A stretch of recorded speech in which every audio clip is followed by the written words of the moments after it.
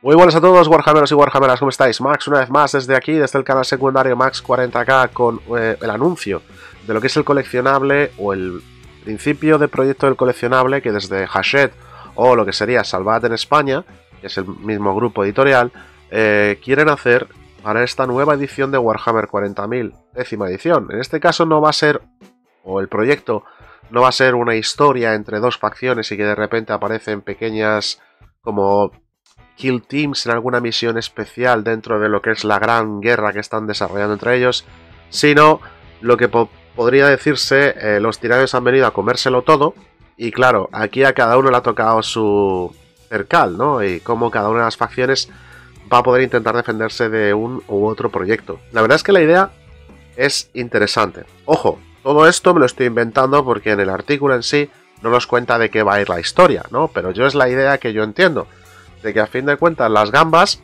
o los tiránidos, pues es una amenaza que se lo come todo. Incluso, bueno, los, necrones no sé, pero seguro también se los comerían, ¿no? Entonces, eh, es una amenaza que queráis que no, al final hay que combatirla. No es que te vayas a unir con tu mayor enemigo para combatir a un enemigo todavía peor, ¿vale? Por ahí no van los tiros eh, por parte de Games Workshop, pero sí que es interesante y es una buena forma eh, también de introducirnos al hobby. Lo que nos están diciendo en este artículo ¿vale? Es que eh, va a salir un, un estudio de prueba. ¿Qué es un estudio de prueba? Esa es una buena pregunta. Pues un estudio de prueba va a ser lo que nos han eh, proporcionado las últimas veces, que son 5 o 6 eh, números, y dependiendo de lo que se venda o lo que no se venda, pues harán un estudio y verán si merece o no merece la pena lanzar lo que es el coleccionable. A ver, hasta ahora lo han hecho, quiero decir, desde que anunciaron todo esto, pues ya van cuatro, ¿no? Tenemos eh, dos, de, dos de dos de Warhammer 40.000, porque llevamos un montón de, tiempo sin tipos de coleccionables por fascículos y demás. Entonces, debido a que décima edición es todavía más popular eh, a la hora de venderse y demás, no veo a mal que esto se vaya a cumplir. ¿Cuándo va a salir lo que es la colección en sí? Pues no lo sabemos. Lo mismo dentro de poco aparecen algunos eh, números en kioscos. Y esto está pensado obviamente para Inglaterra, ¿de acuerdo?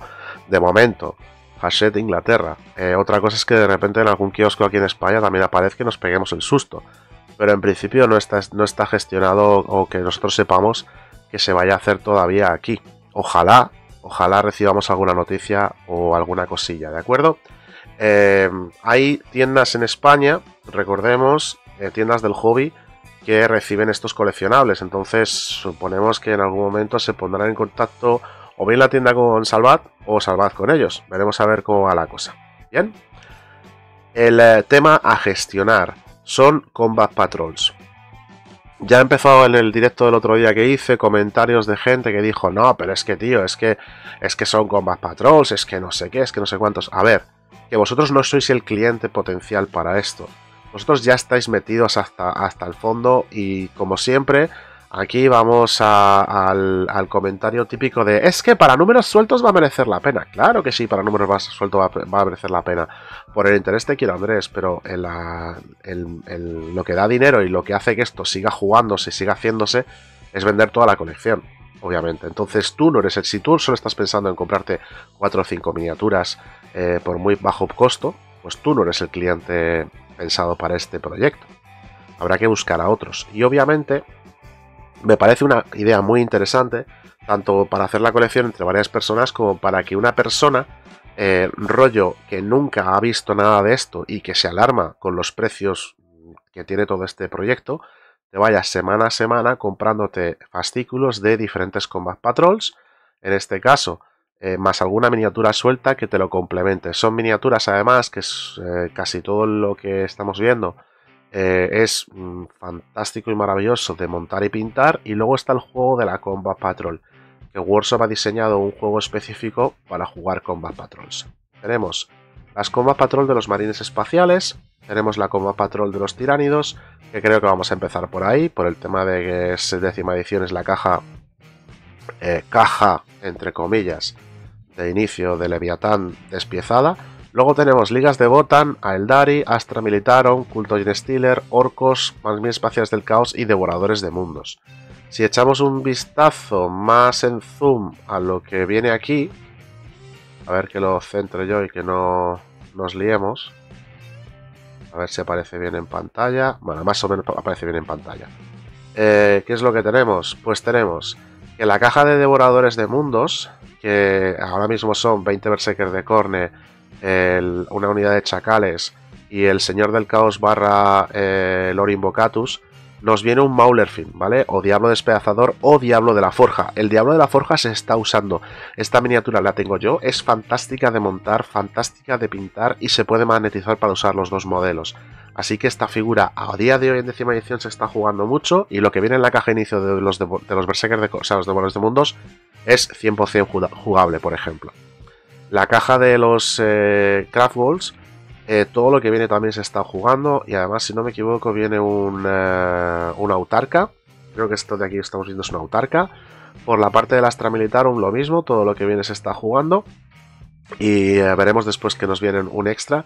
Por aquí tiene que haber una figura aparte que no sé, no sé quién está, no sé si es Crit.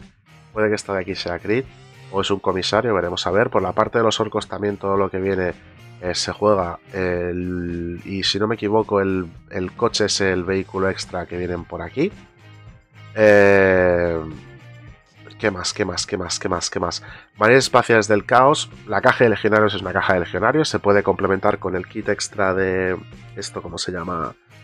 De... de Kill Team y entonces le sacas más partido todavía a esta caja. El Dreadnought se está jugando, el Maestro de la Posesión y el Apóstol Oscuro no se están jugando de momento, pero eso no significa que cuando salga el Codex no cambie las tornas. Culto y en Steeler todo lo que viene se está jugando sin ningún problema. El tema de las medias espaciales normales, el capellán en moto es un, es un extra, lo que pasa es que ahora creo que el capellán en armadura exterminador tiene más juego no me hagáis mucho caso en este momento, pero de toda la vida el capellán en moto fue la hostia y seguirá funcionando igual de bien. La parte de tiránidos es una caja que sí o sí. Eh, y, qué más, las ligas de Botan, que en este momento no sé dónde las tengo ahora mismo, estoy un poco perdido. Vale, la caja de ligas de Botan, vale. Lo que he visto antes que era un coche no es, no es, el, no es un coche orco, perdón, es de las ligas de Botan. Eh, me he equivocado yo, mil perdones. Es que esto está muy pixelado, eh, ya para mí. Pero aún así, todo lo que viene en la caja de inicio de ligas de botán se está jugando. Y el proyecto es muy, muy interesante.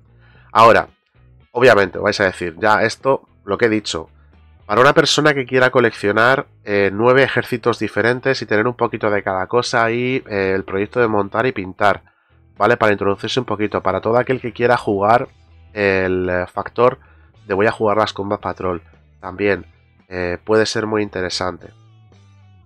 El tema de los eh, complementos extra, pues lo que nos han venido en todas las colecciones, los pinceles, el kit de modelaje y demás, luego las, em, eh, las tazas, mm, a veces sí, a veces no, ahora mismo ya no recuerdo cómo fue la última, ¿vale? La miniatura exclusiva, tenemos, esta sí que es verdad que para cada uno de estos coleccionables han sacado una miniatura exclusiva que luego no se ha vendido por ahí suelta. A lo mejor en un futuro nos la saca Workshop, aunque sea por venta directa, para podértela comprar tú solo. Pero no aparece. Y estos extras eh, del, set premium y demás también podrían cambiar, ¿vale? Pero bueno, para los medios espaciales y tiránidos, las dos cosas que vienen extra me parecen muy bien. Para la caja Eldari contra guerreros del, o sea, contra medios espaciales del caos me parece también muy muy eh, vista. Lo que pasa es que, claro, el, el príncipe demonio también lo podríamos usar para lo que serían los devoradores de mundos. De ahí la novena facción, ¿no? Los devoradores de mundos, digamos que es un extra a los del caos ya que los berserkers de Corne de momento podrías usar una facción del caos normales como unidades de élite, teóricamente, ¿vale? Eh, y el Maulerfin también como guerreros del caos, o sea que digamos que la caja, el único que lo podrías usar sería el señor del caos en, Juggernaut, eh, fuera de lo que sería el Codex de los Devores de Mundos, pero por el resto de cosas, los chacales pueden pasar por cultistas y tendrías, digamos, una expansión de tu fuerza del caos normal.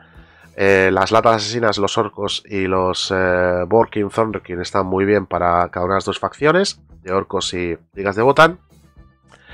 Y el, eh, el Rogal Dorn, que le falta la parte de abajo del chasis, y el set de personajes de Culto y en Steeler, pues bueno, eh, el Rogal Dorn, tengo que decir que es un miniaturón para la hora de montártelo y pintártelo. Así que ahí no voy a decir nada. Lo único, bueno, a lo mejor coste en puntos, eficiencia y demás. Ahí comparado con Le Rush pues a lo mejor mm, hay gente que preferirá más Le Mans y demás, aparte del precio, obviamente. Pero bueno, teniendo en cuenta que es una cosa que te la van a regalar, bueno, te la van a regalar, que viene con el kit extra de premium y demás, pues, eh, entre comillas, ¿no? Eh, hay una delgada línea que podemos gestionar ahí. Eh, recordemos, este es el anuncio del lanzamiento. No es oficial todavía de que se vaya a lanzar la colección. No es oficial todavía dónde se va a lanzar y dónde no se va a lanzar, pero de momento, obviamente, esto significa que si, o por lo menos vamos a seguir el juego, ¿no? De que se le va a dar toda la publicidad necesaria para que se consiga lanzar la colección y que luego cada uno, pues, eh, por su lado y por su, por su mente, teniendo en cuenta que las tiendas y kioscos oficiales van a coger este, este coleccionable sí o sí, bueno, pues eh, hay un alto porcentual de posibilidades de que esta sea la tercera colección eh, seguida de Warhammer 40.000 que tenemos en la última década. Y la verdad es que es maravilloso. Maravilloso para que gente nueva encuentre el hobby, ya que eh, con un poco de suerte y si se mantiene bien, estamos hablando de que esto teóricamente está en los kioscos, ¿vale? Hace muchísimo tiempo que estaban las White Dwarfs en kioscos y era una forma, yo encontré este hobby por un kiosco, porque encontré una White Dwarf, me llamó la atención y luego descubrí el hobby. Entonces, el que todos estos coleccionables estén en kioscos eh, es una alegría que me da eh, desde lo más profundo de mi, de mi yo antiguo viejuner. Así que seguiremos con este proyecto. Manteneos eh, atentos al canal, suscribíos, compartid porque habrá muchas más noticias eh, de todo esto y lo seguiremos y iremos desarrollando con las Combat Patrols y también con el juego, con las reglas propias de la Combat Patrol para ver exactamente cómo eficiente o no es esto. También vamos a intentar hacer una investigación a ver si encontramos eh, si hay gente que se está eh, liando a jugar torneos de Combat Patrol y cómo está yendo a la hora del...